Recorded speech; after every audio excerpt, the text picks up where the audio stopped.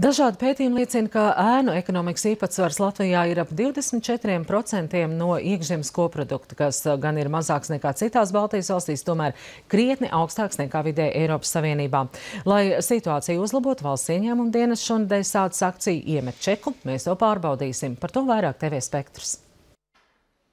Pēc uzņēmuma reģistra datiem Latvijā darbojas vairāk nekā 147 tūkstoši dažādu uzņēmumu, tomēr nevienmēr uzņēmēji godprātīgi nomaksā visus nodokļus. Tāpēc valsts ieņēmuma dienests talkā aicina iedzīvotājus. No 24. novembra visās ieņēmuma dienesta filiālēs ir izvietots akcijas iemet čeku. Mēs pārbaudīsim kastes, kurās ik viens tiek aicināts iemest dažādu pirkumu vai pakalpojumu čekus.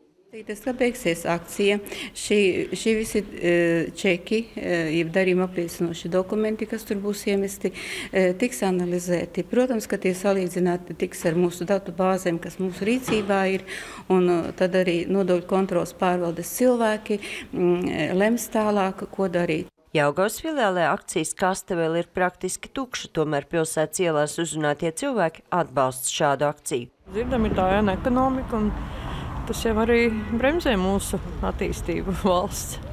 Vai arī pati aiznesīsiet kādu čeku vai ieskanēsiet un nosūtīsiet elektroniski? Nu, es nezinu, tas būs atkarībā no situācijas, kā, kuras iepirkšos. Es domāju, ja teiksim, lielveikalos vai tādās vietās, tad nu, tur jau gribas ticēt, ka viss ir godīgi. Daudzi atzīst, ka dažkārt nācies sastapties arī ar gadījumiem, kad pirkuma vai pakalpojumu čeks netiek izsniegts vispār. Autobusus ir tāda gadies veikalos, kad nedod čeku. Nu, tagad ne visu dod, nu, bet ir tādas veikali, kur nedod.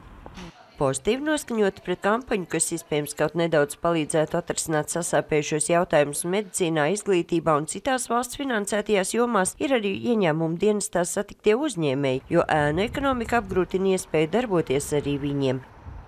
Ir viņiem iespēja, jebkurā gadījumā, piedāvāt zemākas cenas un līdz ar to konkurēt negodīgā ceļā. Iemest čeku, kas izsniegts 2015. gadā vai nosūtītu elektroniski, ik viens var līdz 31. decembrim. Sandra Leitāne, Andrs Spāns, TV Spektrs.